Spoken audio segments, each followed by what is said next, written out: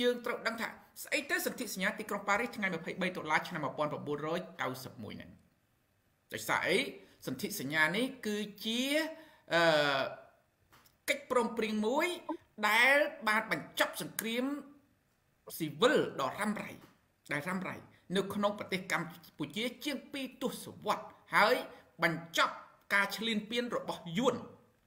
នៅពេលនោះផងដែរអញ្ចឹងបើយើងសួរថាតើអ្វីទៅ តើនរណាខ្លះជាអ្នកដែលបញ្ចប់សន្ធិសញ្ញាទីក្រុងប៉ាដែលបង្កើតនៅសន្ធិសញ្ញាទីក្រុងប៉ារីសថ្ងៃ23ដុល្លារហ្នឹងគឺមានប្រទេសដែលចុះអឺក៏ប៉ុន្តែ អ្វីដែលដែលខ្ញុំចង់បង្ហាញបងប្អូនជនរួមជាតិទាំងអស់គ្នានេះ គឺមិនមែនខ្ញុំអឺចង់ថាត្រូវតែចេះទាំងអស់គ្នាប៉ុន្តែសំខាន់ឲ្យយល់ឲ្យយល់ថាតើ សន្ធិសញ្ញាទីក្រុងប៉ារីសកិច្ចព្រមព្រៀងទីក្រុងប៉ារីសហ្នឹងដែលមាន18ប្រទេសឥឡូវឡើង21ប្រទេសហ្នឹងគេធ្វើអីខ្លះវាធ្វើអីខ្លះហើយមានប្រទេសណាខ្លះដែលចូលរួមតាមពិត18ប្រទេសនេះគេមានសមាគមគេហៅថាសមាជិកអង្គការសហជីវជាតិចំនួន5ប្រទេសក្នុងនោះមានបារាំងអាមេរិកអង់គ្លេសហើយនិងចិនហើយនិងសូវៀតផងដែរមួយទៀតគឺប្រទេសអាស៊ានប្រទេសអាស៊ីអាគ្នេយ៍ប្រទេសអាស៊ីអាគ្នេយ៍នេះមាន8ប្រទេស មានឥណ្ឌូនេស៊ីជាសហប្រធានវៀតណាមឡាវថៃសិង្ហបុរីហើយនិងម៉ាឡេស៊ីដែរមួយទៀតមួយក្រុមទៀតគឺគេហៅថាប្រទេសមិនចូលបកសម្ព័ន្ធគឺតំណាងដោយយូកូស្លាវីនិងមួយក្រុមទៀតគឺប្រទេស4ផ្សេងទៀតគឺមានឥណ្ឌាជប៉ុនកាណាដានិងអូស្ត្រាលីអាហ្នឹងគឺអ្នកដែលចូលរួមចុះហត្ថលេខីនៅក្នុងសន្ធិសញ្ញាទីក្រុងប៉ារីស18ប្រទេសដែលមានបានចែងហ្នឹង ប៉ុន្តែយើងត្រូវសួរទៀតយើងត្រូវឲ្យយល់អាហ្នឹងសួរថាតើកិច្ចព្រមព្រៀងទីក្រុងប៉ារីសថ្ងៃ23ដុល្លារហ្នឹងគេចែងស្អីខ្លះឲ្យយល់សិនយកគោលសិនគឺគេចែងអំពីស្អីក្នុងកិច្ចហ្នឹងបានហេតុអីបានគណៈបកប្រជាជនវាខ្លាចហេតុអីយួនខ្លាចហេតុអីបានជាក្រមគណៈបកប្រជាជនខ្លាចសន្ធិសញ្ញាទីក្រុងប៉ារីសថ្ងៃ23ដុល្លារហេតុអីបានយួនខ្លាចខ្ញុំធ្លាប់និយាយថាកិច្ចព្រមព្រៀងទីក្រុងប៉ារីសថ្ងៃ23ដុល្លារប្រៀបដូចជាលំពេងទឹក លំពេងទឹកបក្រាប់បិសាចអញ្ចឹងព្រោះតែលំពេងទឹកបក្រាប់បិសាចនេះគឺវាអត់ចង់ឲ្យនៅចិត្តវាទេបិសាចគឺវារត់ឆ្ងាយវាចង់បំបត្តិចោលលំពេងហ្នឹងប៉ុន្តែបើយើងមិនព្យាយាមកាន់លំពេងទឹកហ្នឹងណាយួនហើយនៅពួកគណៈបព្វជិជនវាអត់ខ្លាចយើងទេចឹងហើយទើបយើងខ្ញុំគិតថាបងប្អូនទាំងអស់គ្នាត្រូវតែព្យាយាមកាន់លំពេងនេះដើម្បីឲ្យវាខ្លាចការពារបូរណភាពទឹកដីយើងចឹងនៅក្នុងកិច្ចព្រមព្រៀង ទីក្រុងប៉ារីសនេះគេធ្វើអីបានជាវាខ្លាច គឺកិច្ចព្រមព្រៀងនេះដែលគេធ្វើគឺគេចែងជាកិច្ចព្រមព្រៀងនេះនៅសេចក្តីថ្លែងការណ៍3ចំណុចសេចក្តីថ្លែងការណ៍3ចំណុចចំណុចទី1គឺគេនិយាយអំពីណានិយាយអំពីកិច្ចអឺដោះស្រាយនៅចំនួនកម្ពុជា ចំណុចទី2គឺគេនិយាយអំពីការគោរពឯករាជ្យភាព អធិបតេយ្យភាពបូរណភាពដែនដីចំណុចទី3គឺគេចេញសេចក្តីថ្លែងការណ៍ស្ដីអំពីការកសាងប្រទេសឡើងវិញមាន3ប្រទេសមាន3ចំណុចហ្នឹងសំខាន់សួរថាតើសំខាន់ដោយបងអូនសំណាងបានសួរអំបញ្ញមិញណាសួរថាម៉េចអឺនៅក្នុងហ្នឹងគឺគេឲ្យយើងគោរពបូរណភាពដែនដីអានឹងនៅក្នុងកិច្ចព្រមព្រៀងនៅក្នុងសេចក្តីថ្លែងការណ៍ទី2ប៉ុន្តែក្នុងនោះនៅក្នុងសេចក្តីថ្លែងការណ៍ទី2គេមាន នៅក្នុងការដោះស្រាយចំនួនទៀតនៅការដោះស្រាយចំនួនចំណុចហ្នឹងហើយដែលយើងខ្ញុំចង់បង្ហាញនៅសេចក្តីថ្លែងការណ៍3ចំណុចឲ្យច្បាស់ដល់បងប្អូនជនរួមជាតិទាំងអស់គ្នាដើម្បីឲ្យយល់ថាសំខាន់ម្ល៉េះសេចក្តីថ្លែងការណ៍3ចំណុចហ្នឹងស្ទីអីសំខាន់ម្ល៉េះតើវាមានស្អីបានជាពួកគណៈបព្វជិជនវាខ្លាចហេតុអីបានជាយួនវាខ្លាចនៅកិច្ចព្រមព្រៀងនេះសំខាន់ស្អីគេឥឡូវខ្ញុំចង់បង្ហាញចំណុចទី1សិនចំណុចទី1ដែលខ្ញុំនិយាយបាញ់មិញស្ដីអំពី ចំនួននៅកម្ពុជាហ្នឹងគឺកិច្ចព្រមព្រៀងហ្នឹងមានសុពលភាពជាចម្បងលើភាគី4ខាងនោះគឺមានរដ្ឋកម្ពុជាហ្វុនស៊ីប៉ិចរណសេគេហៅថារណសេជាតិរំដោះប្រជាពលរដ្ឋខ្មែរដែលមានលោកតាសឿនសានហ្នឹងហើយនឹងខ្មែរក្រហមក៏ប៉ុន្តែមកដល់ពេលបច្ចុប្បន្ននេះគឺចំនួនផ្ទៃក្នុងកម្ពុជាហ្នឹងគឺអាចចំណុចទី1ហ្នឹងគឺយើងបានបង្រួបបង្រួមហើយហើយ ក៏ប៉ុន្តែខ្លឹមសារហ្នឹងដែលធ្វើឲ្យយួនហ្នឹងវាចេញពីកម្ពុជាដោយសារអីក្នុងសេចក្តីថ្លែងការណ៍ទី1គេឲ្យឈប់បាញ់គ្នា រវាងភាគីទាំង4ហ្នឹងសង្គ្រាមស៊ីវិលហ្នឹងណាកាត់រំសាយកងទ័ពកងទ័ពយួនដែលនៅកម្ពុជាជាង30ម៉ឺនហ្នឹងត្រូវតែដកចេញពីកម្ពុជាអាហ្នឹងហើយដែលយើងបានរួចពីអាណានិគមរបស់យួនព្រោះយួនដូរស្រុកដូរខេត្តដូរភូមិដូរឃុំណាអស់អាលីងហើយហើយយួនបញ្ចូលជនជាតិយួនប៉ុន្តែដោយសារហ្នឹងបានវាយួនត្រឡប់ទៅវិញ បន្ទាប់មកគឺមានការរៀបចំបោះឆ្នោតបែបប្រជាធិបតេយ្យធ្វើឲ្យពួកក្រុមគណៈបព្វជិជនចាញ់លើកទី1បានមានការប្លន់នៅឆ្នាំ1997ថ្ងៃ5ថ្ងៃ6កក្កដាបន្ទាប់មកគឺមានកងទ័ពអ៊ុនតាក់ណានៅក្នុងចំណុចនេះមកត្រួតពិនិត្យនៅសន្តិភាពសេរីភាពនិងការបោះឆ្នោតដែរបន្ទាប់មកគឺមានការណាធ្វើមេត្តាភូមិវត្តរបស់ជនភៀសខ្លួនខ្មែរដែលភៀសខ្លួនមកថៃរាប់សែននាក់រាប់សែននាក់ត្រឡប់ទៅស្រុកវិញ បន្តមកទៀតគឺត្រូវមានរដ្ឋធម្មនុញ្ញមួយ ដែលយើងគិតថាជាសមាជិកដ៏សំខាន់នៅកម្ពុជាគឺរដ្ឋធម្មនុញ្ញប្រជាធិបតេយ្យសេរីពហុបករដ្ឋថ្ងៃនេះបានពួកយួនវាខ្លាចបំផុតអាចំណុចនឹងហើយឥឡូវនៅក្នុងចំណុចទី1ដែលដែលខ្ញុំនិយាយសេចក្តីថ្លែងការណ៍ទី1ហ្នឹងគឺយើងបានចំណេញសម្រាប់ជាតិយើងខ្លាំងមែនទែនប៉ុន្តែវានៅតែមានគោលបំណងដើម្បីមហិច្ឆតារបស់វាគឺដើម្បីគ្រប់គ្រងកម្ពុជាប៉ុន្តែទោះបីយ៉ាងណាវាគ្រប់គ្រងដោយប្រយោលវាមិនផ្ទាល់ដូចមុនទេ នៅក្នុងកិច្ចព្រមព្រៀងទី2នៅក្នុងសេចក្តីថ្លែងការណ៍ទី2ដែលសំខាន់ដែរគឺចំណុចនេះដែលបងអូនសំណាងសួរខ្ញុំបាញ់មិញក្នុងសេចក្តីថ្លែងការណ៍ចំណុចទី2អំពីគោរពឯករាជ្យភាពអធិបតេយ្យភាពបូរណភាពដែនដីនេះរបស់កម្ពុជានេះគឺតាមកិច្ចព្រមព្រៀងនេះគឺប្រទេសហត្ថលេខីទាំងអស់ហ្នឹងណាគឺត្រូវធានានៅឯករាជ្យភាពអធិបតេយ្យភាពបូរណភាពទឹកដីកម្ពុជាអញ្ចឹងមិនមែនតែប្រទេសកម្ពុជាមួយទេ បើសិនជាប្រទេសអស់នឹងមកម្លោបបើសិនជាមានដឹកនាំទៅប្តឹងណាគឺប្រទេស18ឥឡូវឡើង21ហ្នឹងគេអ្នកជួយអន្តរាគមគេជួយអន្តរាគមហើយនៅក្នុងហ្នឹងគឺមានសេចក្តីថ្លែងការណ៍ចំណុចទី3ទៀតគឺអាសេចក្តីថ្លែងការណ៍ចំណុចទី3ហ្នឹងគឺគេនិយាយអំពីអីការផ្ដល់នៅការអភិវឌ្ឍប្រទេសកម្ពុជាដូចរាល់ថ្ងៃនេះណាមិនមែនដោយសារហ៊ុនសែនទេណាបងប្អូនកុំច្រឡំណា បើមិនមែនហ៊ុនសែនជាអ្នកដឹកនាំកម្ពុជាណាកម្ពុជារីកចម្រើនលើសថៃទៅទៀតដោយសារអីនៅក្នុងសេចក្តីថ្លែងការណ៍ចំណុចទី3ហ្នឹងគឺគេជួយជ្រោមជ្រែងកម្ពុជាប្រទេសជាង20ប្រទេសហ្នឹងគេជួយជ្រោមជ្រែងកម្ពុជាមិនតែប៉ុណ្ណឹងពិភពលោកតែម្ដងរហូតដល់សហគមន៍អឺរ៉ុបឃើញគេជួយអញ្ចឹងយើងមានសំណួរទៀតចោះករណីរំលោភអធិបតេយ្យភាពបូរណភាពដែនដីកម្ពុជាតើមានសរសេរនៅក្នុង សន្ធិសញ្ញាទីក្រុងប៉ារីសថ្ងៃ23ដុល្លារឆ្នាំ1991គឺបានសរសេររួចទៅហើយដើម្បីការពារនៅក្នុងនោះគេសរសេរក្នុងណាគេសរសេរនៅក្នុងមាត្រាទី29នៃកិច្ចព្រមព្រៀងណាទី1ស្ដីអំពីការដោះស្រាយចំនួននៅក្នុងកម្ពុជា ដែលអាចកោះហៅពីសហប្រធាននៃសន្ធិសញ្ញាទីក្រុងប៉ារីសគឺមានបារាំងហើយនិងឥណ្ឌូនេស៊ីហ្នឹង ណាដើម្បីឲ្យមកជួយដោះស្រាយបើសិនជាមានបញ្ហាណាមួយតេតិនទៅនឹងអធិបតេយ្យភាពឯករាជ្យភាពបូរណភាពដែនដីហ្នឹងហើយក្នុងហ្នឹងគឺគេសរសេរច្បាស់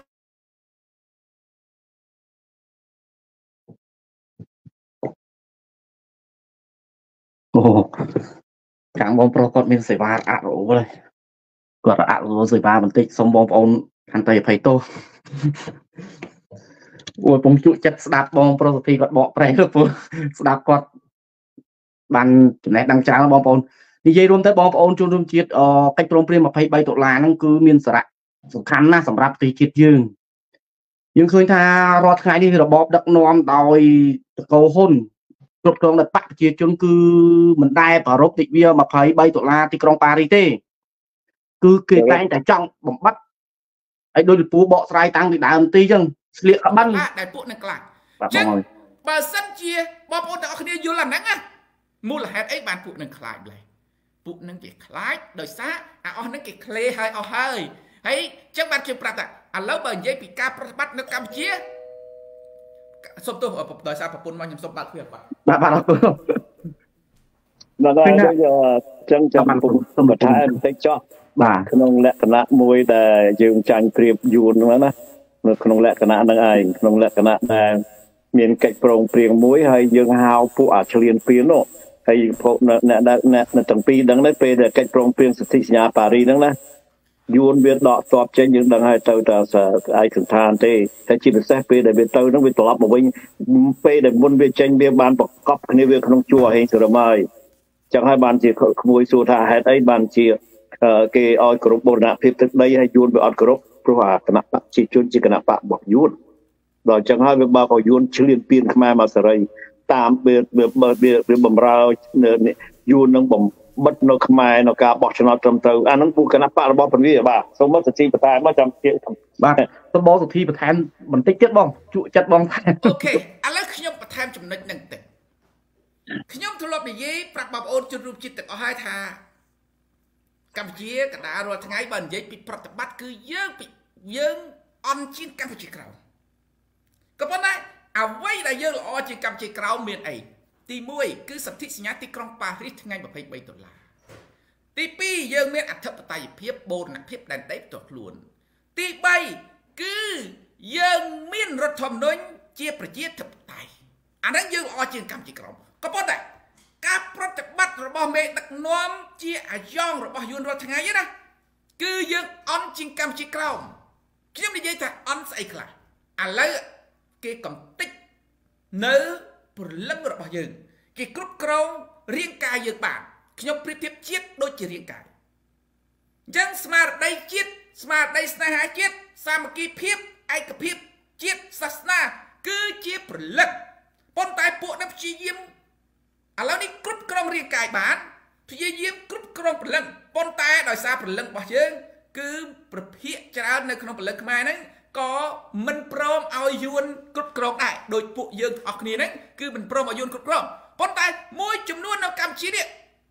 គឺព្រលឹងនឹងត្រូវបានយួនគ្រប់គ្រងខ្ញុំឧទាហរណ៍ដូចជាថ្ងៃមុនយួនមកកាប់ខ្មែរយើងមកភូមិនៅខាងអឺរិស័យកែវអត់មានអ្នកជួយណាទេណាបើប្រៀបធៀបទៅកម្ពុជាក្រោមណា កម្ពុជាក្រោមហ៊ានតែចូលចឹងខ្ទេចលើយួនអត់មានកិច្ចរួចទេបាទបងប្រុសចាតែមិនជួយគ្នាអាពួកសន្តិសុខភូមិប៉ូលីសភូមិហ្នឹងវាចាប់អាអ្នករកគ្រោះហ្នឹងទៅសួរចម្លើយទៅដាក់គុកទៀតអាហ្នឹងឯងចំណុចដែលយើងខ្សោយចំណុចមួយទៀតសាសនាយួនដេញលោកមួយអង្គនៅកម្ពុជាក្រោមមនុស្សរាប់ស្រុកទៅវត្តហ្នឹងយាមវត្តហ្នឹងឥឡូវដូចនៅរាល់ថ្ងៃនេះតែបើសិនខ្មែរវិញណា លោក140អង្គថ្ងៃមុនណានៅវត្តពលកាណាយាយជី20 30អង្គណាគឺអត់មានណាអើកបន្តិចអាហ្នឹងចំណុចហ្នឹងយើងបង្ហាញច្បាស់ហើយច្បាស់ហើយថាកម្ពុជាកណ្ដាលរាល់ថ្ងៃគឺបើយើងមិនភ្ញាក់រលឹកទេណាគឺយើងនឹងប្របាក់កម្ពុជាក្រោមមានអ្នកសួរថាហេចោះបើកម្ពុជាប្របាក់កម្ពុជាក្រោមបាក់ជាងកម្ពុជាក្រោមមិនក៏យួនវាចេះចូលមកយើងឃើញយួនចូលមក ប៉ុន្តែកម្ពុជាក្រោមអត់ចូលមកទេមូលហេតុអីមានស្អីបង្កប់ក្នុងហ្នឹងយួនចូលមកអាយួនមានប្រាក់ខែរដ្ឋបាលយួនវាឲ្យសេដ្ឋកិច្ចយើងវាអត់ជាយួនរាល់ថ្ងៃត្រូវទួស្គាល់នៅកម្ពុជាក្រោមគេស្រួលរកការងារធ្វើជាងយើងគេបានប្រាក់ខែថ្លៃជាងយើងប៉ុន្តែអាយុនចេះមកកម្ពុជាដោយសារអាយុនវាមកកម្ពុជាវាមានអប្រាក់ខែរដ្ឋាភិបាលវាទៀតព្រោះវាជួលឲ្យមកដើម្បីវាទី តែកម្ពុជាក្រោមមកកម្ពុជាអត់បានប្រាក់ខែរដ្ឋាភិបាលអញ្ចឹងបើធ្វើការនៅខ្មែរទីហោបាន120បាន200ដុល្លារធ្វើនៅយួនបាន220ដុល្លារហើយនៅចិត្តផ្ទះអញ្ចឹងគេធ្វើនៅនៅយួនវិញមិនល្អជាងតែអាយួនដែលមកនៅកម្ពុជានេះគឺជាគោលបំណងរបស់គេគេបានច្រើនជាងខ្មែរអញ្ចឹងគេថាចោះអាយួនមិនក៏នៅស្រុកខ្មែរបានអាខ្មែរនាំគ្នារត់ទៅកូរ៉េទៅថៃអស់ដោយសារអាយួនវាបានប្រាក់ខែ ដូចអាខ្មែរទៅកូរ៉េទៅថៃហ្នឹងគោលបំណងរបស់គេអានឹងចំណុចមួយដែលបងប្អូនទាំងអស់គ្នាយកមកពិចារណាអញ្ចឹងយើងគិតសាថ្មីបងប្អូនមួយចំនួនគិតតែគេបំពុលរឿងផឹកស៊ីគ្រឿងញៀនរំជ្រៀងភ្លេចខ្លួនចប់ហើយមួយទៀតបងខ្ញុំបាទអរគុណកាត់បងតិចសុំកាត់បងតិចឃើញណាឥឡូវក្រុមហ៊ុនស្រាបៀរនៅកម្ពុជា គេបង្កើតបងត្រូវរង្វាន់យកបងគេបង្វក់គេបង្វក់ស្រាបៀរអត់ចាញ់អ្នកមានបុណ្យទេ បាទអ្នកមានបុណ្យអ្នកមានបារមីទេវតាដើរដីថាមនុស្សច្រើនថ្ងៃមុនចាក់វត្តស្រាបៀរច្រើនជាងអ្នកមានបុណ្យអ្នកមានបារមីទេវតាដើរដីច័ន្ទមនីទៅទៀតអញ្ចឹងណាបងប្អូនជំនឿយើងត្រូវប្រយ័ត្នខ្លួន គេបំពុលបានគ្រប់រឿងបើសិនជាបងប្អូនទាំងអស់គ្នាមិនប្រយ័ត្នអ្នកវេទនាគឺកូនចៅយើងចំនួនក្រោយដូចខ្ញុំពួកខ្ញុំឯងសិតតែនៅក្រៅប្រទេសនៅប្រទេសដែលរីកចម្រើនគឺខ្ញុំខ្ញុំ អ្នកពួកមួយចំនួនគេថាអឺឯងខំធ្វើអីឯងខំហ៎អញខំដើម្បីពួកឯងហ្នឹងណាណាពួកអានេះស្រុកម៉ែអាមួយតែតែឯងខំមិនហ្នឹងអញមិនខំដើម្បីអញទេអញនៅនេះអញចាស់ទៅអញមិនខ្វះស្អីទេណាប្រាប់ពួកឯងនិយាយថាឯងខំមិនហ្នឹងណាអញមានស្អីក៏មានដែរអញចាស់ទៅមានប្រាក់ខែរត់ចាំព្យាបាលអស់ប្រហែលលានដុល្លារក៏រត់គេព្យាបាលដែរអញមានផ្ទះរត់ឲ្យនៅទៀត ខំដើម្បីពួកហែងឲ្យយល់ក្បាលឯងនឹងបានផឹកបានស៊ីបន្តិចឯងមកបន្ទោសគេអ្នកគិតរឿងជាតិឯងគិតតែរឿងទៅបំផ្លាញជាតិចឹងប្រាប់ពួកអាក្រុមអស់ហ្នឹងឲ្យយល់បាទសូមអរគុណបាទសំណាងបាទបាទសូមអរគុណការបកស្រាយរបស់បងប្រុសហើយបងប្រុសគាត់បកស្រាយនេះចំចំណាបងប្អូនជនជាតិហើយខ្ញុំសូមដាក់ស្មារតីទៅយុវជននៅក្នុងប្រទេសកម្ពុជាសប្តាហ៍ថ្ងៃនេះកំពុងតែវឹកវរវិវក់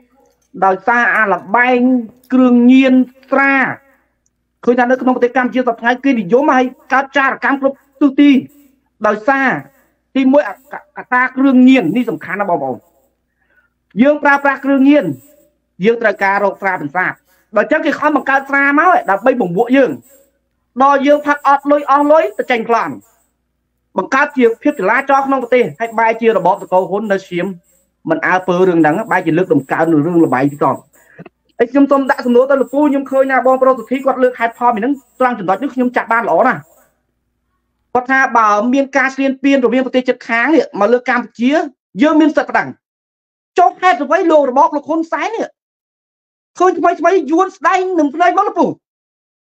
ព្រំដែនឆ្លងព្រែកព្រំដែនឆ្លងព្រែកឲ្យអ្នកនៅចិត្តនឹងថា8គីឡូពីព្រែកហ្នឹងហេតុអ្វីហ៊ុនសែនមិនប្តឹងលោកពូបែរជាសងំស្ងៀមហើយខ្ញុំសូមបន្ថែមមួយទៀត ពេលលោកប្រធានសន្និសីប្រកាសចូលមានទិភូមិវត្តហ៊ុនសែនត្រៀម BM21 ហើយដល់យួនរំកាល់អត់ឃើញ BM21 បច្ចេកសុំលោកពូបកស្រាយត្រង់ចំណុចនេះលោកពូបើកបើកស្លៃទីលោកពូបើកស្លៃទីបើកបើកស្លៃលោកពូបើកស្លៃអត់លឺណាដែលពូតែងតែលើកឡើងថាសពថ្ងៃហ្នឹងយួនដឹកនាំខ្មែរយល់ទេព្រោះយួនដឹកនាំខ្មែរហើយយើងឲ្យយួន CPP ហ្នឹងទៅទៅការទៅទៅការពារទឹកដីយើងមិន យួនសពថ្ងៃហ្នឹងយើងដឹកនាំដល់និគមយួនហ្នឹងហើយហើយនិគមយួនហ្នឹងវាចេញពីណាមកវាចេញពីអាការប្រងព្រៀងដែលយើងចាញ់បោកវាណាខ្ញុំសូមជម្រាបអ្នកស្ដាប់ខ្ញុំណាដឹងយើងចាញ់បោកវាត្រឹមម៉េចទេអង្គុយតុក4ភាគីហ្នឹងយើងថាដោះបញ្ដោះដោះស្រាយបញ្ហារវាងចំនួនស៊ីវិលខ្មែរនិងខ្មែរហើយជាការពិតមិនមែនទេយើងចាញ់បោកពួកអគណៈបព្វជិជនពួក CPP គឺសង្គ្រាមឈ្លានពានដែលខ្ញុំតែងទៅលើកឡើង ដែលពយពតចង្អុលថាសង្គ្រាមឈ្លានពានហើយចំនួនសាធារណរដ្ឋក៏ស្រែកថាយួនឈ្លានពានហើយសពថ្ងៃពួកអាឈ្លានពានហ្នឹងដឹកនាំខ្មែរហើយក្មួយសំណាងហើយវាមិនមែនខ្មែរដឹកនាំខ្មែរទេហើយហើយបើបើថាចង់ដឹងឲ្យច្បាស់ចំពោះលើកបញ្ហាមួយ ពេលដែលអាសែនវាចាញ់ឆ្នោត93នឹងវារត់ទៅព្រំដែនយួនណាវាបញ្ជាពីស្រុកយួនមកវិញមកនោះអានឹងហើយដែលកាន់តែបញ្ជាក់ថាកម្ពុជា វាធ្លាក់ក្នុងកម្រិតដៃយួនតាំងពីអា97មកម្លេះតាំងពីធ្វើរដ្ឋប្រហារ97គឺយួនវាគ្រប់គ្រងខ្មែរតែពេលគ្រប់គ្រងខ្មែរពេលដែលវារលំផុនសំពេចភ្លាមណាអ្នកទាំងពីរចាំទេអត់មានស្ទូពេញស្រុកខ្មែរដូចស្រុកថ្ងៃណាគ្រាន់តែវាចាប់ផ្ដើមសំរំលប់ហ៊ុនសំពេចភ្លាមវាដឹងថាខ្មែរអ្នកជាតិនិយមវាតាមសម្លាប់តាមបំផ្លាញមួយចំនួនមួយចំនួនហើយគឺយួនវាកាន់តែហ៊ានវាកាន់តែលេចមុខហើយ ហើយចាំបានខ្ញុំប្រាប់ថាសពថ្ងៃក្មួយមិនគុំបារម្ភរឿងថាអារឿងគណៈបកប្រជាជនអារាជរដ្ឋាភិបាលខ្មែរហ្នឹងណាការពារទឹកដីខ្មែរវាអត់ទេ គឺយួនទេសពថ្ងៃដឹកនាំដោយយួនចឹងហើយបានវាឲ្យសញ្ជាតិទៅយួនចឹងហើយពេលចឹងបានខ្ញុំបាទខ្ញុំកាត់បន្តិចខ្ញុំបានឮសូរប្រសាសន៍លោកហ៊ុនសែនហើយនិងហ៊ុនម៉ាណែតថ្មីថ្មីនេះហ៊ុនសែនការគាត់ទៅកាន់អំណាចគាត់ថាចេះមិនឲ្យទឹកដីកម្ពុជាបាត់1មីលីម៉ែត្រ ហើយមកហ៊ុនម៉ាណែតហ៊ុនម៉ាណែតក៏បានបដិញ្ញាដែរថានឹងមិនឲ្យបរទេសណាស្លៀនពៀនកម្ពុជាយកទឹកដីកម្ពុជាស្រួលស្រួលទេ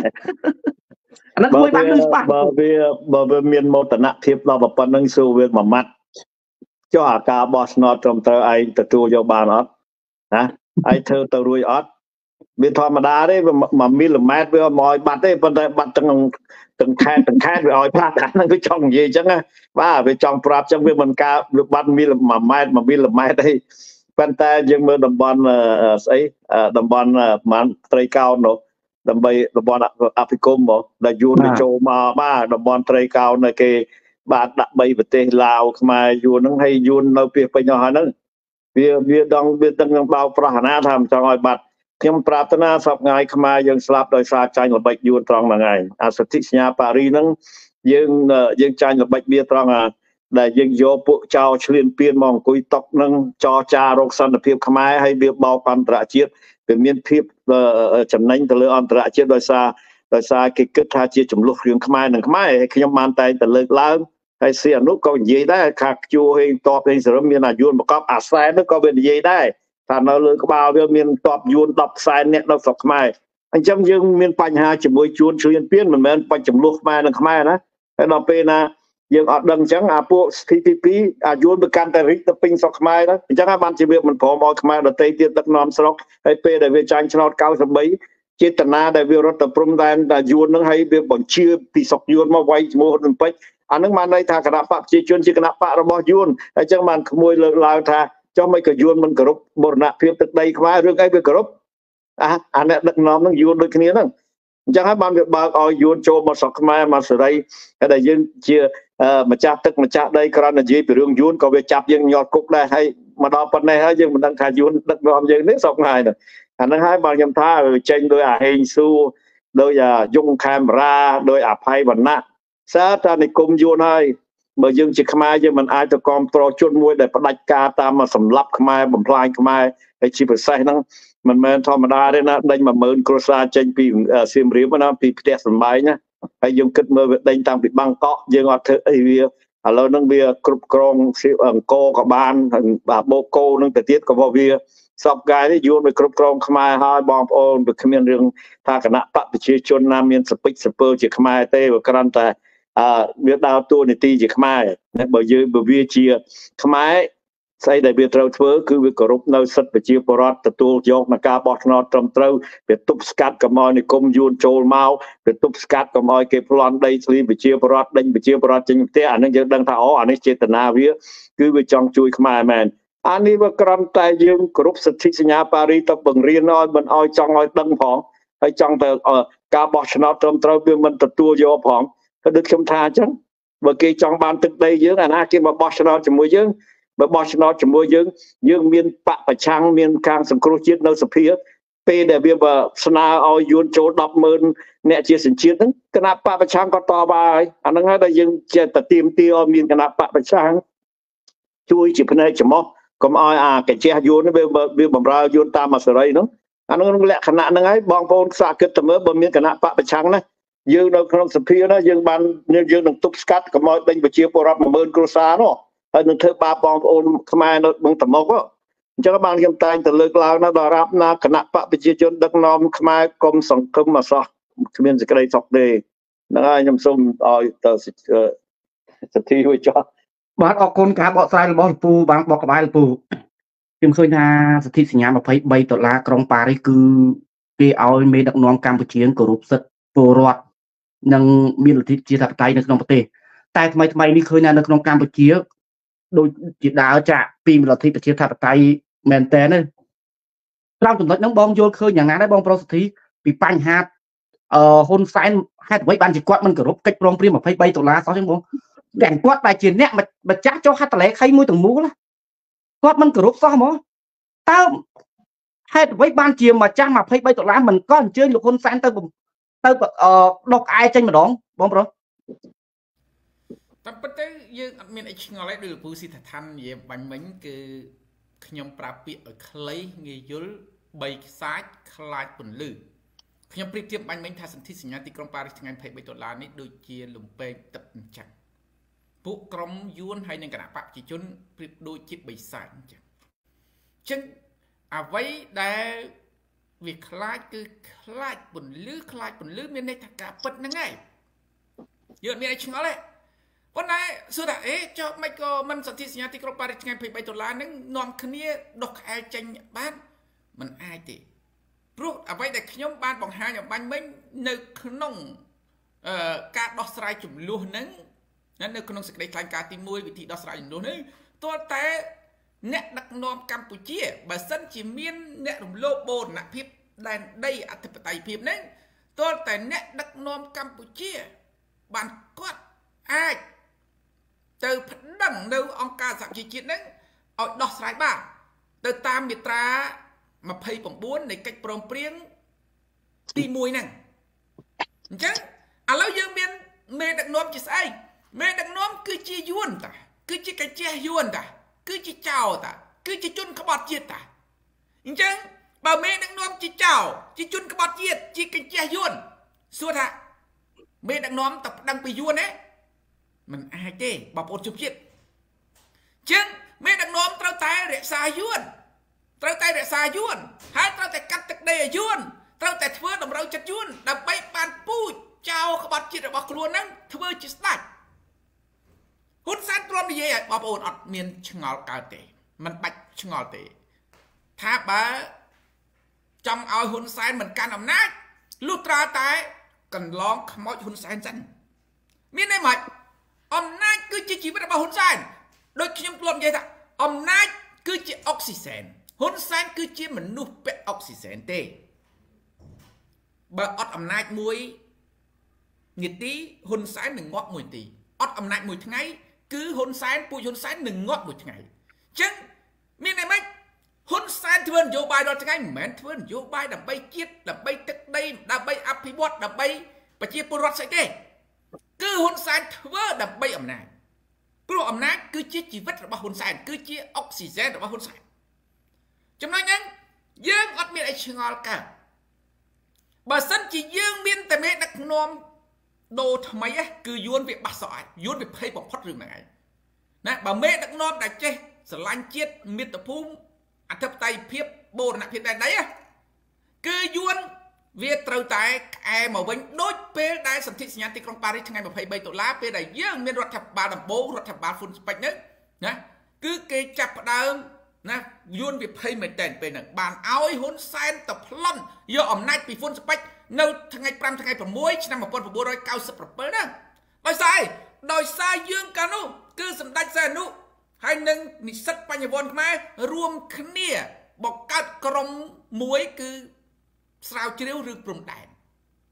ជាពិសេសសម្ដេចសែននុនឹងឲ្យបង្កើតគណៈកម្មការមួយ ដែលមានអន្តរជាតិចូលរួម មានគ្រប់បកនយោបាយនៅក្នុងប្រទេសកម្ពុជានឹងចូលរួមស្រាវជ្រាវរឿងព្រំដែនកម្ពុជាយួនហ្នឹង ចឹងហើយបានយួនវាភ័យបានហ៊ុនសែនវាប្លន់នៅឆ្នាំ1997ថ្ងៃ5ថ្ងៃ6កក្កដាហ្នឹង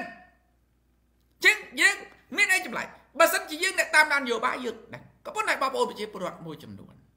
តែគាត់មិនបានយកហេតុផលគាត់ជាខ្មែរប៉ុន្តែគាត់មិនបានដឹងថាតើភាពជាខ្មែរជាអ្វីទៅអ្វីទៅហៅថាខ្មែរអ្វីទៅហៅថាចិត្តសាសន៍មួយ បើយើងជាចិត្តសាសន៍មួយ យើងមិនស្គាល់តែខ្លួនឯងជាចិត្តសាសន៍មួយផងហ្នឹងជាពិសេសពួកក្រុមគណៈបព្វជិជនហ្នឹងខ្ញុំមិនថាគាត់ជាយួនទេគាត់ជាខ្មែរក៏ប៉ុន្តែគាត់ទៅធ្វើជាឆ្កែយួនដោយសារអីដោយសារគាត់មិនស្គាល់តម្លៃថាគាត់នឹងជាខ្មែរគាត់គិតថាខ្លួនគាត់គ្រាន់តែជាឆ្កែរបស់យួនតែប៉ុណ្្នឹងទេ បានគាត់តែបំរើយួនដោយពូជហ៊ុនសែនជាដើម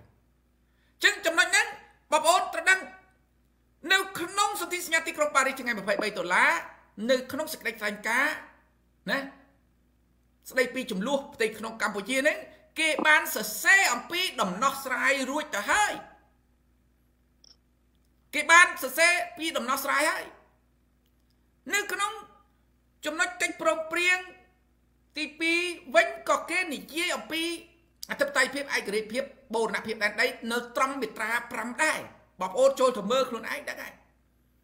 នៅក្នុងមាត្រា5និយាយអំពីចំនួននៅកម្ពុជានឹងគេប្រាប់ពីវិធីដោះស្រាយទៅហើយប៉ុន្តែយើង ការដោះស្រាយនេះយើងធ្វើបានទេធ្វើមិនបានទេ គឺត្រូវការមេដឹកនាំជាអ្នកដាក់ពាក្យបណ្ដឹងណាថាយួន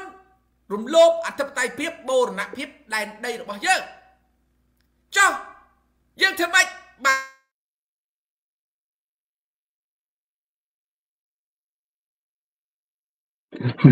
មើលប្រវត្តិខាងគាត់សិក្សារបស់យើងនិយាយបន្តចុះយើងហ្នឹងហើយចុះយើងធ្វើម៉េចដូចសទ្ធិចង់និយាយហ្នឹងចុះយើងធ្វើម៉េចបានន័យថាសពថ្ងៃហ្នឹងយួនមកដឹកនាំយួនឲ្យយួនទៅប្តឹងពីយួនមិនអាហ្នឹងសទ្ធិចង់និយាយអញ្ចឹងណាអាហ្នឹងវាជាភាពគេការភាពត្រឹមត្រូវហើយព្រោះគណៈបកជាជននេះខ្ញុំគ្រាន់តែរំលឹកថាជាច្រើនសារ លើកណាក៏ខ្ញុំយកបញ្ហាយួននឹងមកដែរព្រោះសពថ្ងៃនេះមិនមែនជារឿងខ្មែរនឹងខ្មែរទេយើងដឹងហើយដោយសារតាបើសិនជារឿងខ្មែរនិងខ្មែរគេមិនធ្វើទុកបាបធ្វើទុកបុកម្នេញខ្មែរទេបើបងប្អូនខ្មែរណាម្នាក់និយាយពីយួនហ្នឹងនឹងបានន័យថាជារឿងយួនហើយនឹងខ្មែរបាទដល់សិទ្ធិមកវិញអូសុំទោសផងដាច់សេវាសេវាខ្សោយហ្នឹងហើយដូចខ្ញុំខ្ញុំនិយាយជំនួសសិទ្ធិហើយខ្ញុំថាឲ្យអាយុឲ្យអាចោលបងប្រុស អត់ចាំតែដឹងមិនប្រមាណទេខ្ញុំដល់ប្រមាណខ្ញុំអត់ដឹងខ្ញុំនឹងដាច់ណាសន្ធិឯងថាចង់និយាយថាឲ្យទៅប្តឹងមិនយួនវាយួនណាទី2ហ្នឹងវាយួនហើយបាទឲ្យអាចោលទៅប្តឹងពីវាប្លន់ខ្មែរប្លន់នៃការបោះឆ្នោតមិនទៅចោលនោះវាត្រូវត្រូវបាទបាទអញ្ចឹងចំណុចហ្នឹងខ្ញុំចង់បន្ថែមបន្តិចអឺដូចសំណាងនិយាយថាមិនក៏ប្រឹងទៅទៅប្តឹងមិនបើ CPP ជាយួន ត្រូវត្រូវត្រឹមត្រូវបើ CPP ជាយួនជាកញ្ជះយួនមិនមែនយួនធម្មតាជាចៅជាជនក្បត់ជាតិអញ្ចឹងបើវាជាកញ្ជះយួនវាដឹងខ្លួនវាជាចៅជាជនបត់ក្បត់ជាតិជាកញ្ជះរបស់យួនបើវាតែប្តឹងយួនគឺវាអស់អំណាចកាលណាអស់អំណាចគឺវាស្មើនឹងងាប់ហើយបងប្អូនជំរាបអស់អំណាចស្មើងាប់ហ៊ុនសែនធ្លាប់និយាយថាបើសិនជាចង់អត់ឲ្យហ៊ុនសែនមានអំណាចកន្លងខ្មោចហ៊ុនសែនទៅ មានន័យមិនវាដឹងច្បាស់ណាស់បើវាអត់អំណាចវានឹងងាប់ហើយពូជវានឹងរលាយហើយពួកអាអស់ហ្នឹងពួកអាឆ្កែយូរទាំងអស់ហ្នឹងវាដឹងខ្លួនវាច្បាស់ណាស់បានវាខំណាស់ឃើញទេអញ្ចឹងអ្វីដែលសន្ធិសញ្ញាទីក្រុងប៉ារីសបានសរសេរមកគឺគេឲ្យយើងមានលទ្ធភាពប៉ុន្តែសួរថាអញ្ចឹងដោះស្រាយមិនបើបើហ៊ុនសែនវាមិនទៅប្តឹងធ្វើម៉េចបានប្តឹងអង្គការសហជីវជាតិឲ្យសើរើនឹងត្រង់ចំណុចបងខ្ញុំចង់សួរបងឲ្យត្រង់ចំណុចហ្នឹងនេះ ត្រង់ចំណុចយើងទៅបងបញ្យល់លំអិតតិចបងដើម្បីឲ្យជាពលរដ្ឋយើងបានប្រើប្រាស់សិទ្ធិយល់ទេដោពូជក្បត់ជាតិចោលកញ្ចេះយួនចោលឲ្យតែពូជពាក់ព័ន្ធក្បត់ជាតិកញ្ចេះយួននឹងចោលណាពូជគណៈបព្វជិជននេះអ្នកណាក៏ដោយដូរវាចោលមេដឹកនាំចេញពីគណៈបព្វជិជនកុំថាឲ្យហ៊ុនម៉ាណែតហ៊ុនអីក៏ដោយមិនមែនហ៊ុនម៉ាណែតក៏ឲ្យតែពួកកាន់អំណាចចេញពីគណៈបព្វជិជនបងប្អូនទាំងអស់គ្នាកាលណាឲ្យពួកនឹងចេញមក គឺពួកនឹងនៅក្នុងកន្លងគណៈបព្វជិជន គឺមានន័យថាពួកនឹងគឺជាខ្មែរក្រហមខ្មែរក្រហមជាណាខ្មែរក្រហមជាយួនខ្ញុំធ្លាប់និយាយថាខ្មែរក្រហមជាណាខ្មែរក្រហមគឺជាយួនយួនជាអ្នកបង្កើតណាបង្កើតគណៈបកប្រជាជនចឹងខ្មែរក្រហមចែកជា3ចំនួនខ្មែរក្រហមចំនួនទី1 17មេសា1975 ដល់ថ្ងៃ7មករា1979ខ្មែរក្រហមចំនួនទី2 7មករា1979ដល់ឆ្នាំ1991ខ្មែរក្រហមចំនួនទី3ថ្ងៃ5ថ្ងៃ6 1997កក្កដាមកដល់ឥឡូវនេះខ្មែរក្រហមចំនួនទី3ចឹងសួរថាយើងរួចផុតពីខ្មែរក្រហមនៅបងប្អូនមួយមួយចេះសួររួចផុតយើងអត់រួចផុតខ្មែរក្រហមទេ អញ្ចឹងចំមិនក៏ខុសគ្នាមិនកាត់ដឹកនាំវា adjust វាកែទៅតាមរបបនយោបាយដំបូងវាអត់ឲ្យមានសាសនាអត់ឲ្យវត្តរាមខ្មែរក្រហមចំនួនទី1វាសម្លាប់យកតែម្ដងដល់វាសម្លាប់ទៅវាទៅអត់រួចដល់វាសម្លាប់ទៅអត់រួចបានវាធ្វើរំដោះ7មករា1979វាដូរពីការសម្លាប់ដោយផ្ទាល់វាដូរពីកំតិចសាសនាវាធ្វើឲ្យមានសាសនាដែរ ប៉ុន្តែតើលោកអាយុ70ឆ្នាំអីមនុស្ស70ឆ្នាំបានឲ្យបួសមកវត្តអីមាន2អង្គមួយអង្គអីចឹង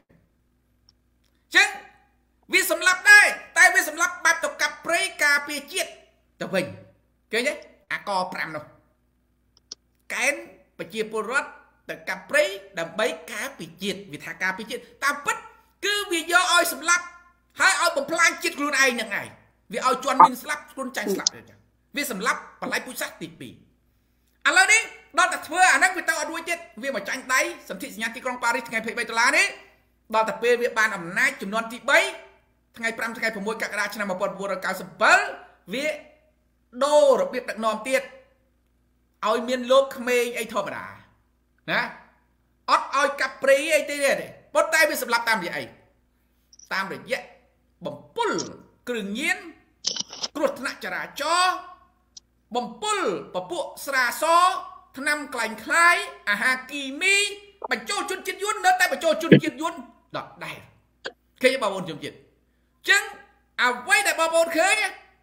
បងប្អូនត្រូវប្រយ័ត្នត្រូវមើលឲ្យច្បាស់បងប្អូនប្រជាពលរដ្ឋខ្មែរមួយចំនួនដែលទៅបម្រើគណៈបព្វជិជនណាគាត់អត់ដឹងតែគាត់គាត់ថាគាត់ខ្មែរប៉ុន្តែគាត់អត់យល់អត្ថន័យថាស្អីទៅជាខ្មែរអត់យល់ទេគាត់គិតថាគាត់ជាខ្មែរ គាត់ជាខ្មែរដែរក៏ប៉ុន្តែគាត់ស្ម័គ្រចិត្តនឹងធ្វើជាឆ្កែយួនក៏គាត់អត់ដឹងថាគាត់នឹងជាឆ្កែយួនទៀតតែពិតគាត់បំរើយួនរាល់ថ្ងៃជាឆ្កែរបស់យួនគាត់គាត់ថាគាត់ខ្មែរប៉ុន្តែគាត់កំពុងតែធ្វើឆ្កែយួនដោយសារគាត់អត់យល់អត្ថន័យនៃពាក្យថាខ្មែរពាក្យថាខ្មែរមានន័យម៉េចខ្មែរត្រូវមានជាតិមួយត្រូវមានអីទី1ផែនដីទី2មនុស្ស ទី3អរិយធម៌យើងឯករាជ្យភាពបូរណភាពអធិបតេយ្យភាពមិនទៅបំរើយួនទេណាតែបើអ្នកឯងទៅបំរើយួនអ្នកឯងថាខ្មែរអាហ្នឹងគឺបោកគឺអ្នកឯងអត់យល់ពាក្យខ្មែរអញ្ចឹងអ្វីដែលខ្ញុំចង់បង្ហាញបងប្អូនជំនឿយើងចង់ឲ្យសន្ធិសញ្ញាទីក្រុងប៉ារីសជួយអន្តរាគមន៍យើងបាននាំគ្នាដូរពូជក្បត់ជាតិចោលសិនត្រង់ចំណុចហ្នឹងហើយបងខ្ញុំចង់បើឲ្យបងបន្ថែមបន្តិចទៀតលោកអត់ បាទតើឲ្យបងប្អូនប្រជាពលរដ្ឋខ្មែរយើងដូរយ៉ាងម៉េចបើគណៈបកពីមុនយើងសង្គ្រោះជាតិគេរំលាយសង្គ្រោះជាតិបន្ទាប់មកភ្លើងទៀនក៏គេរំលាយទៀតតើឲ្យគាត់ទៅបដូរយ៉ាងម៉េចបងត្រង់ចំណុចហ្នឹងសូមបងជួយបញ្យល់បន្តិចទៀតបងសូមបន្តិចទៀតជួយចិត្តបងឲ្យដល់ហើយតែពិតការបដូរគឺបដូរពីខ្លួនយើងតែមុនសិនសុបបីប្រពុតក៏អប់រំយើងចឹងដែរបើសិនជាអ្នកមិនជួយខ្លួនអ្នក ព្រះក៏មិនអាចជួយអ្នកបានដែរអញ្ចឹងមនុស្សគ្រប់រូបដែលបានស្ដាប់នៅក្នុងការនិយាយរបស់យើងកាយនេះឧទាហរណ៍ថាមាន20ណាឬក៏30នាក់ចុះលើកក្រោយទៅអាច100 200 3នាក់300មនុស្សហ្នឹងគាត់យើងនិយាយទៅគាត់ចាប់ដើមត្រេះរិះពិចារណាបើមិនបានទាំងអស់ក៏បានខ្លះយើងនាំគ្នាធ្វើឲ្យសកម្មអ្នកដែលយល់ពីរបៀបបដូរដូចយើងណានាំគ្នាចេញមកធ្វើស្រស់គ្នា អ្នកមិននិយាយមិនកើតគាត់ជួយ share គាត់ជួយ like គាត់ជួយ comment គាត់ជួយចែកចាយគាត់ជួយពយល់បងប្អូនសាច់ញាតិមិត្តភ័ក្តិរបស់គាត់អានេះគេហៅថារបៀបបដូររបៀបបដូរអញ្ចឹងរបៀបបដូរនេះគឺសំខាន់ណាស់បើយើងបដូរយើងបដូរបើសិនជាយើងធ្វើអញ្ចឹងស្រស់ដៃគ្នាណាយើងជួយខ្លួនឯងអាហ្នឹងគេហៅជួយខ្លួនឯងជួយខ្លួនឯងអញ្ចឹងមិនត្រូវចាំទេតបលោកប្រធានសំនេស៊ីមកបានងើប ហេចាំអ្នកនេះមកបានងើបយើងជាសំនេស៊ីអស់គ្នាយើងជាគឹមស្ខាងអស់គ្នាបើយើងគិតអញ្ចឹងដូចគ្នាណាពួកហ្នឹងវាអត់នៅបានទេពួកហ្នឹងវាអត់នៅបានទេប៉ុន្តែឥឡូវនេះយើងវាអត់មានអាការជួយខ្លួនឯងសិនសុបបីសាររដ្ឋអាមេរិកបាននិយាយហើយនិយាយទៀតសហគមន៍របស់គេអត់គ្រប់គ្រងពួកពូជហ៊ុនសែនទេគឺគេគ្រប់គ្រងគេនៅខាងប្រជាពលរដ្ឋគេមិនមែននៅខាងពួក អាកញ្ចេះយួនអស់ហ្នឹងទេនៅខាងប្រជាពលរដ្ឋអញ្ចឹងមានន័យម៉េចមានន័យថាបើប្រជាពលរដ្ឋជួយខ្លួនឯងចេះងើបខ្លួនឯងគេជួយយើងនឹងហើយព្រោះយើងមានបទពិសោធន៍ច្រើនមកហើយបើខ្ញុំនិយាយអំពីសូចនៈក5ដែលជាអតីតកាលគឺយើងផ្លាស់ប្ដូរ5លើកមកហើយបទពិសោធន៍យើងផ្លាស់ប្ដូរ5លើកមកហើយយើងផ្លាស់ប្ដូរពីបរិង្កាន់កាប់យើងរហូតដល់90ឆ្នាំណា យើងបានឯករាជ្យពីប្រាំឆ្នាំ1953លើកទី1លើកទី2យើងបដូរពីសង្គមរាជនិយមឆ្នាំ1970ថ្ងៃ18មីនាលើកទី2លើកទី3គឺប៉ុលពតផ្ដួលលំលន់នល់ឆ្នាំ1975 17មេសាគឺគណៈបព្វជិជនចាប់ផ្ដើមមានអំណាចដំបូងបំផុតគ្រប់គ្រងកម្ពុជា លើកទី4 គឺ7មករា1979គណៈបកប្រជាជនយួនប្លន់អំណាចគណៈបកប្រជាជនចិនលើកទី5សន្ធិសញ្ញាទីក្រុងប៉ារីសថ្ងៃ23ដុល្លារឆ្នាំ1991សួរថាការផ្លាស់ប្ដូរ5លើកវាកើតចេញពីអីកើតចេញពីខ្លួនយើងហើយនឹងព្រឹត្តិការណ៍អន្តរជាតិរាល់ការផ្លាស់ប្ដូរទាំងអស់គឺព្រឹត្តិការណ៍អន្តរជាតិបូកនឹងខ្លួនយើងបើសិនជាអត់មានសប្រាំងចាញ់សង្គ្រាមលោកលើកទី1នៅពេលនោះណា ចាញ់ចាញ់សង្គ្រាមលោកលើកទី2នៅពេលនោះយើងក៏អត់បានឯករាជ្យពីបារាំងដែរប៉ុន្តែបើសិនជាគ្រាន់តែអត់មានសង្គ្រាមលោកលើកទី2បារាំងអត់ចាញ់សង្គ្រាមលោកទី2ហើយយើងអត់ទៀមទីឯករាជ្យចាញ់សង្គ្រាមលោកទី2ក៏ដោយបើសិនយើងអត់ទៀមទាឯករាជ្យនៅពេលនោះក៏យើងអត់បានឯករាជ្យពីប្រាំងដែរឃើញវាខ្លួនយើងបូកនឹងព្រឹត្តិការណ៍អន្តរជាតិទី2លុនដុលដែលរំដោះចេញពីរបបរាជានិយម បើសិនជាអត់មានសង្គ្រាមត្រជាក់ប្លុកសេរីគឺអាមេរិកសូវៀតកុម្មុយនីសដែលដណ្ដើមប្លុកគ្នានៅពេលនោះក៏លន់នល់មិនអាចមានអំណាចនៅក្នុងកម្ពុជាដណ្ដើមពីសង្គមរាជនិយមបានដែរខេព្រឹត្តិការណ៍ទី2ព្រឹត្តិការណ៍ទី3បើសិនជាលុកសេរីនៅពេលនោះអាមេរិកអត់ដកទ័ពចេញពីយួនខាងត្បូងណា ក៏អាពួកកុម្មុយនីសខ្មែរក្រហមពួកអគ្គប្រជាជនរាល់ថ្ងៃវាមិនអាចយកឈ្នះលន់នល់បានដែរឃើញបងប្អូនជប់ទៀតព្រឹត្តិការណ៍ទី3ព្រឹត្តិការណ៍ទី4 7មករា1975បើសិនជាអាចចិនហើយនឹងអាសូវៀតអាពួកកុម្មុយនីសពីរដែលកំពុងតែមានអំណាចនៅក្នុងប្រទេសខ្មែរដែលជាបងធំរបស់ប៉ុលពតដែលជាបងធំរបស់យួនវាមិនឆ្លោះគ្នា ក៏មិនមែនអក្សរបយួនមកប្លន់យកអំណាចពីប៉ុលពតបានដែរវាមិនអាចផ្លាស់ប្ដូរបានទេឃើញទេបងប្អូនជំនឿព្រឹត្តិការណ៍ទី5វាមកគ្រប់គ្រងខ្មែរកងទ័ពយួន30ម៉ឺននាក់នៅកម្ពុជាបើសិនជាអត់មានដួលរលំ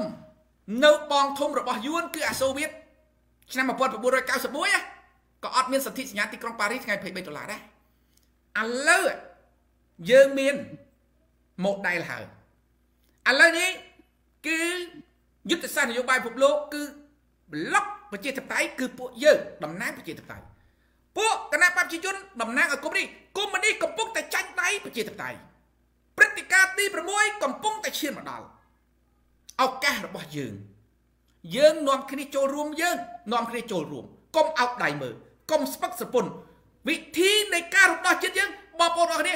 ចូលតាមរយៈថវិកាលើកទឹកចិត្ត comment like share អីក៏ដោយឲ្យតែមានសកម្មភាពព្រមគ្នាគឺពួកអស់នេះគឺវាទៅឯងតែម្ដងដោយសារព្រឹត្តិការណ៍ឥឡូវគឺអាមេរិកដូរយុទ្ធសាស្ត្រនយោបាយពីអឺរ៉ុបទៅឥណ្ឌូប៉ាស៊ីហ្វិកអញ្ចឹងគឺយើងជោគជ័យខ្លាំងនៅពេលខាងមុខបាទសូមអរគុណបាទបាទសូមអរគុណការបកស្រាយរបស់បងប្រុសបានបោះក្បាយបង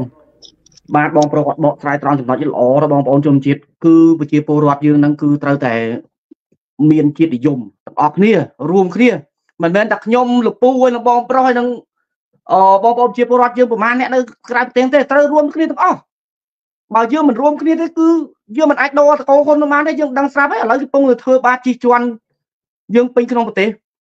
ឃើញគៀបសង្កត់គ្រប់បែបយ៉ាងហើយឃើញថ្មីថ្មីផ្លូវនៅសៀមរាបគឺសង្កត់កយកហើយ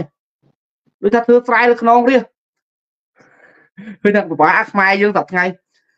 លពូតើលពូមានអឺអឺអ្វីជាតាមផ្ញើចុងក្រោយដើម្បីបញ្យល់ឲ្យប្រជាពលរដ្ឋខ្មែរយើងនឹងចេះប្រើប្រាស់សិទ្ធិយើងមែនតើមកលពូឲ្យប្រើប្រាស់បច្ចេកទេសរិះគន់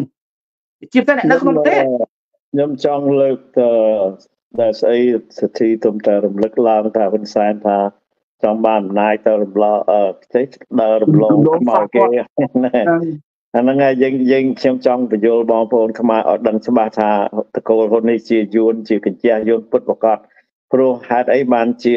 ថាចង់បានអំណាចរំលងខ្លួនវាព្រោះវាចង់រស់នៅណែវាចង់ឆ្លាញ់អំណាចវាព្រោះអំណាចវាបានដោយសារយួនអញ្ចឹងវាត្រូវតែបំរើអ្នកណាដែលបកគលអំណាចឲ្យវាចឹងបានវាប្រើពាក្យថាចង់បានអំណាចទៅរំលងខ្មោចវាចឹងវាបានអំណាចដោយសារយួន វាចាំបាច់វាត្រូវតែបំរើយួនមកដល់សប្តាហ៍តែខ្ញុំខ្ញុំសុំសុំបន្ថែមលោកពូលោកពូបកស្រាយដូចដូចខុសលោកពូខ្ញុំថាលោកលោកលោកហ៊ុនសែនគាត់ថាគាត់បានអំណាចហ្នឹងដោយសារប្រជាពលរដ្ឋគ្រប់គ្រងដល់លោកពូថាបានអំណាចដោយសារយួនហ្នឹងអត់ត្រូវលោកពូបាទបាទវាគ្រប់គ្រងប្រជាពលរដ្ឋខ្មែរគ្រប់គ្រងបានបោះឆ្នោតម្ដងម្ដងគិតពីពេលពីការបោះឆ្នោតហើយនឹងហើយមកចំណុចទៀតវាថាបើណានាទៅទាកម្ពុជាក្រមមកធ្វើក្តារមឈូស បាទនឹងបាទសម្ដីទាំងពីរហ្នឹងគឺគឺថាសម្ដីកញ្ជះយួនពិតប្រកបណាស់បើយើងជាខ្មែរយួនយកកម្ពុជាក្រមយើងចង់ទៅទៀមទាអាសែនវាធ្វើក្តារមឈូសក៏យើងវាសឡុតស្លាប់យើងចឹងបានអាសែនហ្នឹងវាវាកាន់តែច្បាស់ថាវាកញ្ជះយួនហើយទី1វាមិនវាចង់បានអំណាចកុំរំលងខ្មោចវាព្រោះវាចង់រក្សាអំណាចហើយរក្សាអំណាចហ្នឹងដើម្បីស្អីព្រោះយួនអ្នកបន្ទាប់វាអត់មានអំណាចអញ្ចឹងវារក្សាអំណាចដើម្បីទៅបំរើយួនណា អានឹងទី1ទី2វាថាណានាចង់បានខ្មែរក្រមត្រូវធ្វើក្តាមជុះនៅតែវាការពារឲ្យយួនចឹងណាយើងជាខ្មែរយើងជិះចាប់ហ្នឹងគេយកខ្មែរក្រមមកអាមួយឡប់ជ្រូកនោះវាថាឯងណាខ្មែរណាចង់ទៀមទាក្រៅខ្មែរក្រមធ្វើក្តាមជុះអញ្ចឹងបានន័យថាសម្ដីពីរម៉ាត់នេះគឺបញ្ជាក់ពលរដ្ឋខ្មែរកាន់តែច្បាស់សូមសូមកាត់លោកគ្រូបន្តិចទៀតចោះខ្ញុំឃើញចំណុចនេះខ្ញុំអស់សំណោចលោកហ៊ុនសែនមួយ គាត់ឡាយក្នុង page គាត់ហើយមានបងប្រុសយើងនៅក្រៅប្រទេសប្រហែលគាត់នោះលពូប្រហែលចាំហើយគាត់បាន comment បបួលថាតោះសម្ដេចយើងរួមគ្នាវាយយកកម្ពុជាក្រោមវិញគាត់ថាអញ្ជើញទៅតែឯងចោលប្រខ្ញុំបាច់នឹងខ្ញុំអត់ដល់បងប្អូនគាត់ថាអឺទៅចង់ទៅយកមកក្រោមទៅក្តាមឈូសមុនស្អីហ្នឹងហើយប៉ុន្តែខ្ញុំសូមបន្ថែមពីរឿងសិទ្ធិលើកឡើងពីរឿងខ្មែរពួកអនុបកជាជនជាខ្មែរក្រហមណា តែខ្ញុំជុំរំលឹកចេះថាខ្មែរក្រហមក៏ពិតមែនគណៈបព្វជិជនហ្នឹងណាប៉ុន្តែគណៈបព្វជិជនដែលសពសល់ដល់សពថ្ងៃនេះដែលមកជាប់ដឹកនាំខ្មែរដល់សពថ្ងៃនេះដែលជាខ្មែរក្រហមសពថ្ងៃនេះគឺអាយុវាចម្រាញ់ហើយវាចម្រាញ់ពីខ្មែរក្រហមអ្នកជាតិនិយមពីខ្មែរក្រហមប្រមាត់ប្រមងខ្មែរហូជីមិញគឺវាចម្រាញ់ខ្មែរក្រហមណាដែលបំរើនយោបាយចោលយួនហាណូយ ហើយយើងមើលខ្មែរក្រហមដែលចូលមក75ហ្នឹងមានបញ្ញវន្តមកពីស្រុកប្រាំងទៅណាឬហូននឹមហូយន់ខៀវសំផនហ្នឹងគាត់មករៀនស្រុកប្រាំងតែគាត់ចង់បានកម្ពុជានឹងជាកម្ពុជាក្រាន់តែជាលទ្ធិកុម្មុយនីសដើម្បីចូលប្លុកជាមួយកុម្មុយនីសដល់សេរ៉ាសាយឆៃណាទេគាត់ចង់បានកម្ពុជានេះជាកុម្មុយនីសនៅដូចជាពួកគុយបាអញ្ចឹងណាពួកគុយបាពួកខាងជើងអញ្ចឹងវាគ្រាន់តែកុម្មុយនីសតែគេនៅរក្សាទឹកដីបានព្រោះគេមានកុម្មុយនីសអ្នកជាតិនិយម ចឹងបានពូតែងតែលើកឡើងពេលពលពតវាដឹកនាំស្រុកយើងអត់បាត់កោះត្រល់យួនអត់ចូលមកសេរីចឹងហើយយួនវាមើលឃើញចឹងបានសិទ្ធិលើកឡើងថាគណៈបព្វជិជនគឺខ្មែរក្រហមតែយើងខ្ញុំសូមក៏បញ្ជាក់បន្ថែម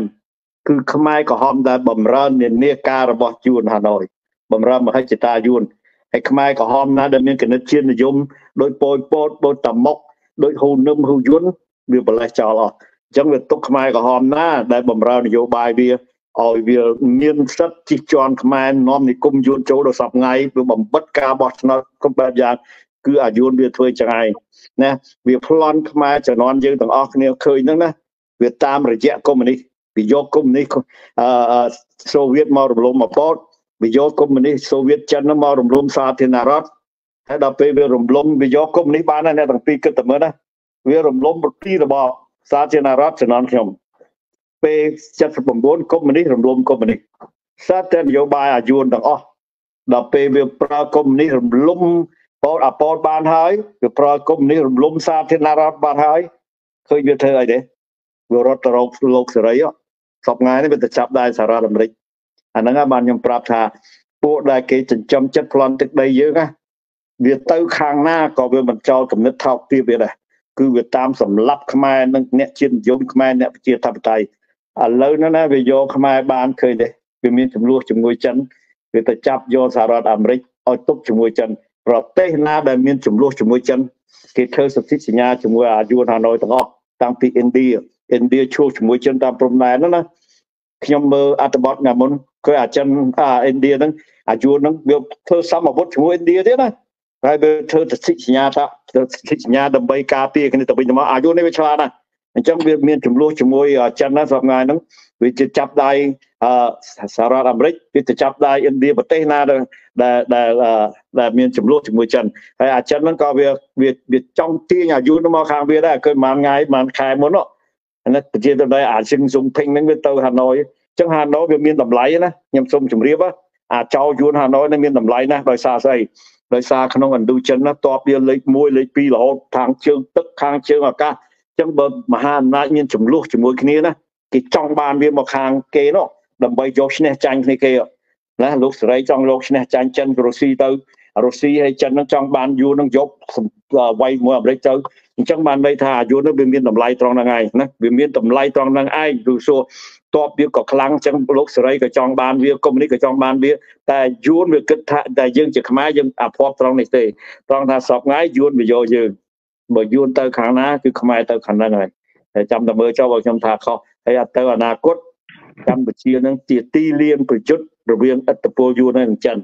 ខ្ញុំគ្រាន់លើកឡើងមួយសារហើយមួយសារទៀតនឹងលោកពូចង់និយាយថាវិលវិលទៅរកដើមវិញទៀតលោកពូហ្នឹងហើយការជំនាន់អពតក៏យូរណាស់នៅដូចគ្នាដែរយូរណាស់អញ្ចឹងតែយើងខ្ញុំខ្ញុំតែងទៅលើកបញ្ហានោះមកពិភាក្សាហើយខ្ញុំថាគុំអពតបរតរោចិនដើម្បីការពារទឹកដីកុំមកយូរមកឆ្លៀនពៀនតែអាសែនបរតរោចិនគឺការពារអំណាចវាប្រខុសគ្នាត្រង់ហ្នឹងបាទអាមួយបាទអាមួយការពារទឹកដីអាមួយការពារអំណាច ហើយអ្នកតាពីចាំមើលបើខ្ញុំថាខុសណាមិនយូរទេបើសិនជាសហរដ្ឋអាមេរិកឆ្លោះជាមួយរុស្ស៊ីហើយនិងចិនមានជាសង្គ្រាមសកលណាបែកខាងលិចនៅកម្ពុជាទៅខាងចិនទៅហើយបែកខាងកើតទៅខាងយួនយើងកម្ពុជាជាសមរភូមិរបស់កុម្មុយនីសហើយនឹងបាននៅលពូចឹងពុះពុះចែកជាពីរតែម្ដងលពូឡោះចុះពួកគណៈបកប្រជាជននឹងវាចែកចំនួនដូចចំនួនអពោដូចគ្នាតាអាខ្លះទៅខាងចិនអាខ្លះទៅខាងយួនឃើញទេពួកខាងពលពតមិនមកខាងចិន បាទបាទខាងខាងហ៊ុនសែនទៅទៅខាងយួនហើយឥឡូវហ្នឹងវាឃើញខាងចិនវាចុះមកកើនៅខាងលិចនៅកោះកុងណានៅរៀមអញ្ចឹងវាបានរៀបចំហើយអាចិនវាចុះមកមិនមែនចុះអត់ហេតុផលទេណាវាចោះចង់ទុកជាមួយពួកអាយុនេះដែលវាយកអាមេរិកទៅធ្វើទុកគេណាអញ្ចឹងបាននៅកម្ពុជាហ្នឹងជាមួយដល់ពេលសង្គ្រាមមានវិបត្តិជាមួយលោកសេរីចិនហើយនៅសហរដ្ឋអាមេរិកឆ្លោះគ្នាណាគណៈបកប្រជាជនបែរជាពីរដូចជំនាន់ពលពតដូចគ្នា ពួកខាងគណៈបកប្រជាជនណាដែលយើងទៅខាងនីតិការខាងចិនមកខាងខាងលិចហើយហើយអាយុនៅទៅខាងកើតហើយគណៈបកប្រជាជននឹងវាសពថ្ងៃនឹងវាក្នុងលក្ខណៈហ្នឹងហើយណាគណៈបកប្រជាជនយួននិងគណៈបកប្រជាជនចិនតាំងពីសម័យពលមកគឺមានបាទហ្នឹងហើយបើសសពថ្ងៃព្រោះព្រោះអាចិនឃើញទេតាំងហើយខ្ញុំយកបញ្ហាហ្នឹងមកចោតខ្ញុំជេរខ្ញុំស្កោតទោសពួកអាចោយួនពួកអា CPP ដោយសារបញ្ហាហ្នឹងហើយណា បើសិនជាវាគ្មានធ្វើរដ្ឋប្រហារ97ចិនមិនអាចយកតបទៅដាក់ស្រុកខ្មែរបានទេនេះខ្ញុំប្រាប់វាហើយដោយសារមហិច្ឆតាវានឹងវារំលំហ៊ុនសំពេចចឹងណាវារំលំហ៊ុនសំពេចព្រោះវាចង់បានទឹកដីខ្មែរវាចង់ប្លន់យកទឹកដីយើងដល់វារំលំហ៊ុនសំពេចទៅវាមានចំនួនជាមួយចិនបើមានចំនួនជាមួយចិនចិនវាគិតថាបើអាវាឆ្លោះជាមួយយួនហើយយួនយកសហរដ្ឋអាមេរិកទៅសម្លុតវាទៀតចាំបាច់វាទៅចោះទៅស្រុកខ្មែរអញ្ចឹងបានវាចាប់ចុកកគិតកក្រែងប្រហែលឆ្នាំនេះណាវាអត់ខ្វល់ទេណាអាមេរិក មានស្អីកាយតំណប់អីឆ្លោះមើលវាអត់ខ្វល់ទេវាស្អីដែលវាខ្វល់គឺវាខ្លាចសហរដ្ឋអាមេរិកយកតបទៅដាក់លើយូក្រេននោះដែលអារ៉ាសាគេខ្វល់ព្រោះគេគិតថាបើយូក្រេននឹងជាសម្ព័ន្ធមិត្តសហរដ្ឋអាមេរិកអារ៉ាសាវាមិនចង់បាន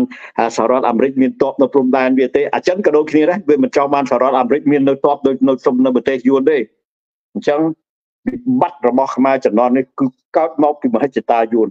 បើអាថោកទៀបនឹងវាមិនឈ្លានពានរំលំហ៊ុនសំពេចទេ សពថ្ងៃនេះខ្មែរដើរតាមលទ្ធិប្រជាធិបតេយ្យមានការបោះឆ្នោត5ឆ្នាំម្ដងអាសែនម្ដងម្ដងទៅយើងនឹងឡើងម្ដងទៅមិនក៏វាមិនសុខចិត្តអញ្ចឹងវាសុខតែរំលំខ្មែរដតេទៀតបន្ទុកតែក្បាលវាគឺដោយសារមហិច្ឆតាយួននឹងហើយបាទបាទសូមអរគុណលោកពូបាទបងប្អូនជនជាតិនេះជាការពិតឲ្យបងប្អូនយើងត្រូវតែប្រុងប្រយ័ត្នទាំងអស់គ្នាមិនអាចបណ្ដោយអតកោហ៊ុននឹងបានទេបងប្អូន